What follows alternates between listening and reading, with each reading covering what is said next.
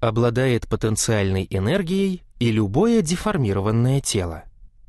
Так, растянутая дверная пружина, сжимаясь, приводит в движение дверь. Деформированная тетива лука для стрельбы совершает работу, сообщает скорость стреле. Следовательно, при деформации тетива так же, как и дверная пружина, запасает потенциальную энергию.